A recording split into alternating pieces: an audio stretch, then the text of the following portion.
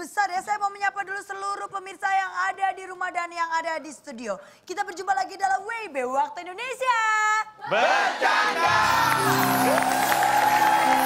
Acara ini bagus ya. Nih pasti penonton di rumah udah tidak sabar nih untuk bertemu dengan motivator saya. Tapi sebelumnya saya mau menyapa, iya kenapa? Ini ada penonton mama komplek nih.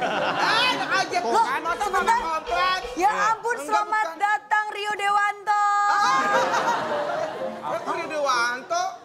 bukan ya? Bukan, Pantesan saya biasa- Aliando. Oh Aliando. Masa nggak kenal? Maksudnya kakeknya kenal? Aliando. Masa nggak kenal? In, in, Siapa sih? Indi Baren. Kita kasih tepuk tangan buat Indra Bekti.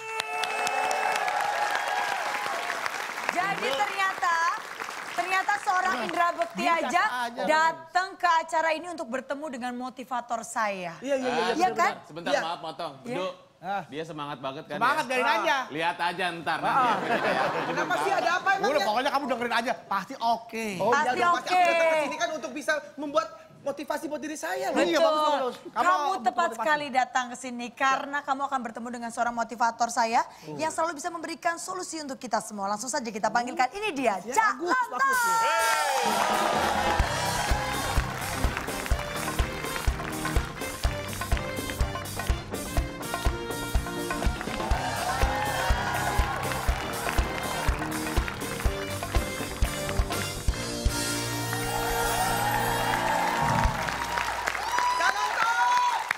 Bentar, bentar.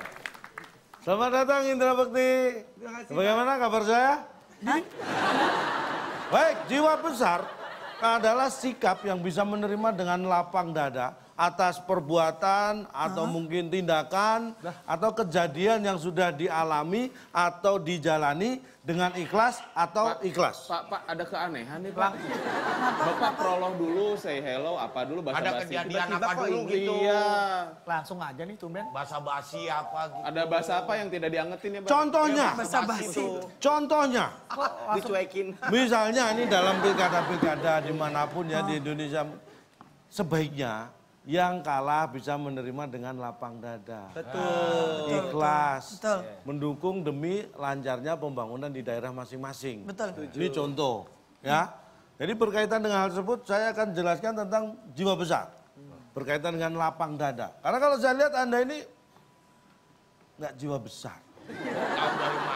Nah ini, saya menjelaskan Anda protes. Oh iya. Nggak bisa menerima dengan senang hati. Anda nggak lapang dada. Contoh saya, Kenapa? saya bicara, saya nggak protes pada saya sendiri. Oh iya ya. Wah contoh yang baik. Saya terima dengan ikhlas dan senang hati. Itu Yang dong. ngomong kan bapak sendiri. Bapak berjiwa besar sekali ya. Tentunya, makanya saya beri contoh. Oh iya, betul, betul, kalau. Anda misalnya harusnya nggak perlu protes juga. Kalau Kan cukup dengan misalnya bicaranya agak keras. Dengan tangan nunjuk-nunjuk ke arah saya. ya Itu gitu protes kan. Itu juga. juga protes. Yes, namanya. Ya enggak dong, kalau Anda mendukung kan enggak protes. Misalnya, Ah. Pak, bener Pak yang diomongin Bapak, saya setuju 100% Pak. Itu enggak protes. Oh benar-benar ya. Walaupun nadanya tinggi dan menunjuk-nunjuk. Oh iya betul-betul ya. Ya kan? Itu kelihatan. Ini dari semua penonton nih yang cengar-cengir doang nih. Nah, Dari tadi yang diomongin ngerti nggak? Nah, mereka lapang dada. Nggak ngerti aja tertawa. Oh iya benar. Nggak protes. Bisa menerima. Ini berjiwa besar mereka. Tapi ini kalau kita lihat Cak ternyata masih banyak orang-orang yang tidak berjiwa besar. Cak gimana dong Cak? Itu bisa dilatih. Anda jangan terbiasa untuk membohongi diri. Kita latih. Oh kita latih ya Cak? Iya, sederhana latihannya. Caranya Cak? Cukup dengan TTS. Oke kalau gitu sekarang waktunya kita bermain dalam tetes. Teka-teki. Sulit.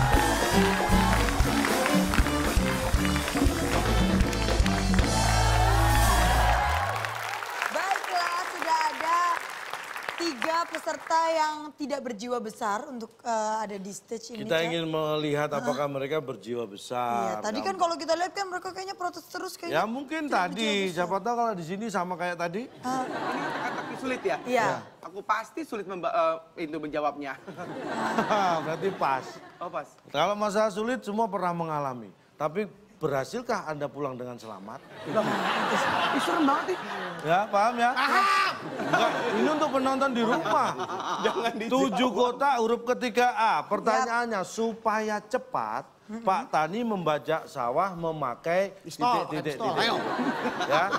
Jawabannya tujuh kota huruf ketiga A. Kirim ke @wib underscore net dengan hashtag WIB underscore jiwa besar. Ada 500 ribu rupiah dan nanti kita akan eh, memberikan jawabannya di akhir acara. Oke, Iya. kasih tepuk tangan dulu nih. Oh. Buatan mau nebak juga boleh.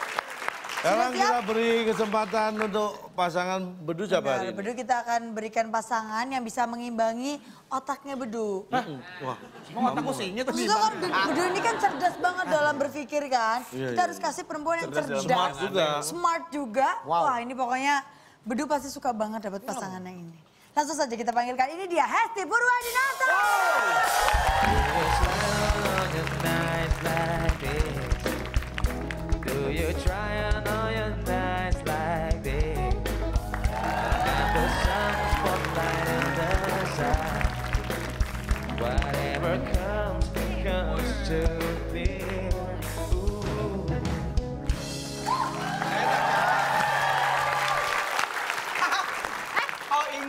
Masa bisa nimbangin kecerdasannya? Ini mah sama.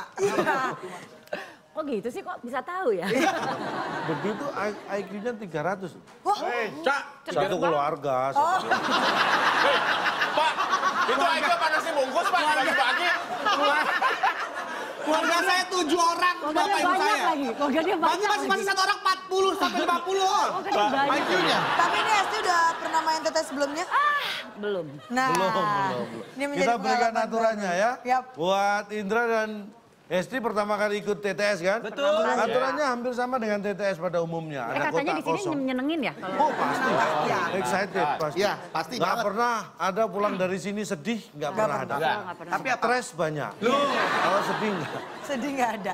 Kuis di sini hadiahnya luar biasa, jangan disamakan dengan kuis-kuis di tempat lain. Pasti Miliaran rupiah. tidak ternilai. Hadiahnya pengen tahu? Iya, iya. Silakan Bung Alex.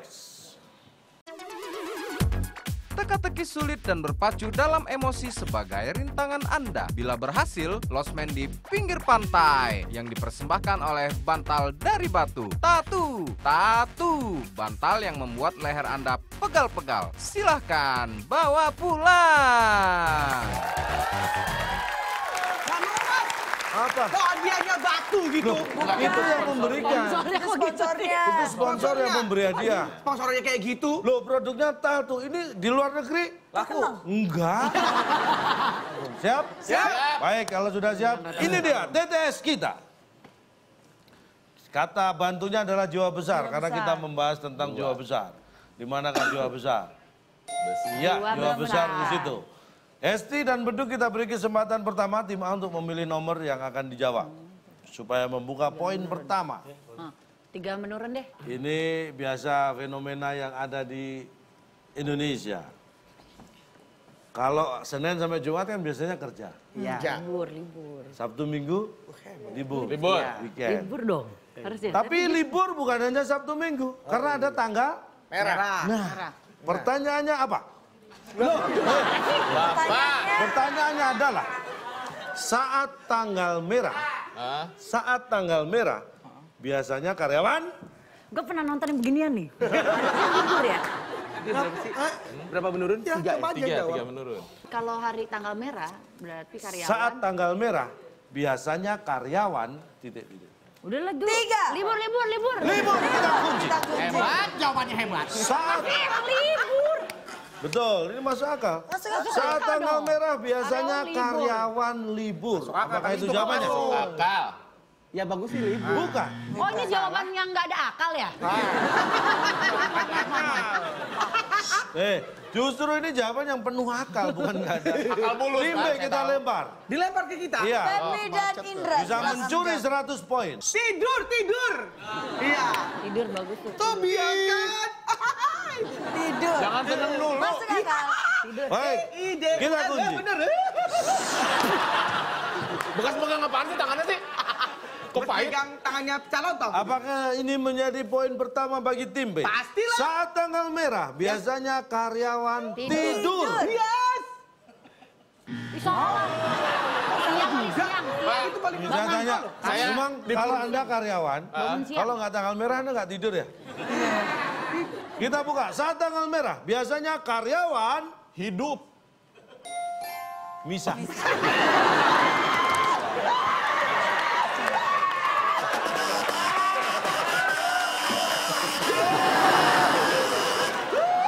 bisa.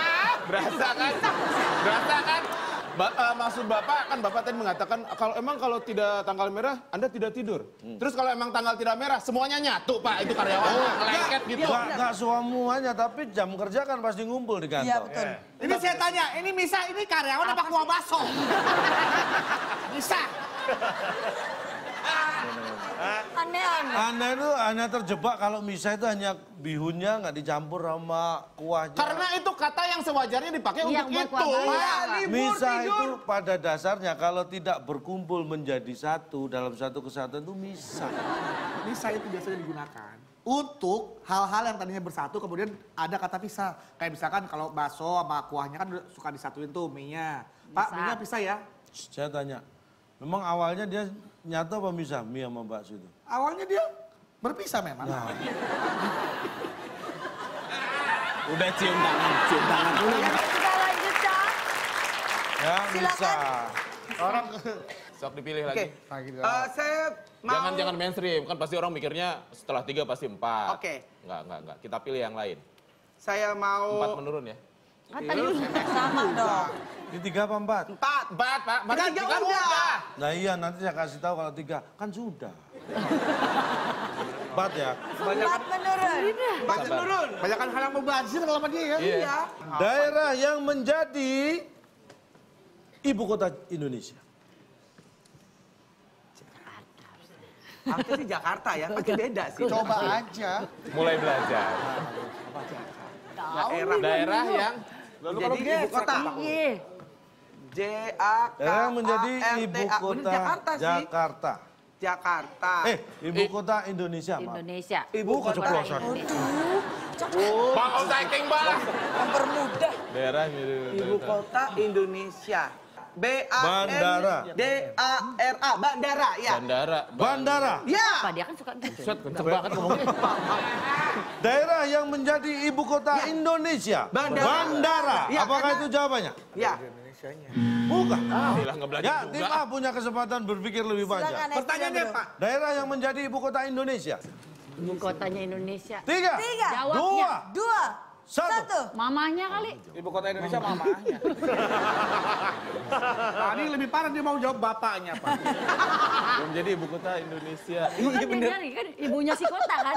Ibunya si kota pasti mamanya. Mamanya. Mamanya. mamanya. Mamanya. M A M A nya. Mamanya. Siapa tahu salah, siapa tahu salah. Bu. Siapa benar? Siapa tahu benar? Mamanya. Daerah yang menjadi ibu kota Indonesia. Tahu Mamanya. Apakah mamanya? Ah, salah lagi. Ah. Coba tadi dijawab papanya. Benar.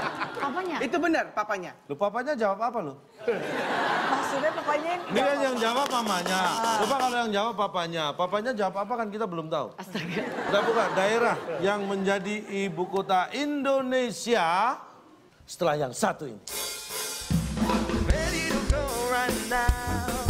Saya akan gunakan bapak untuk pencemaran, untuk apa? Perbuatan tidak menyenangkan. Ya. Ya. Ini jawaban saya. Ya. Saya. Setuju.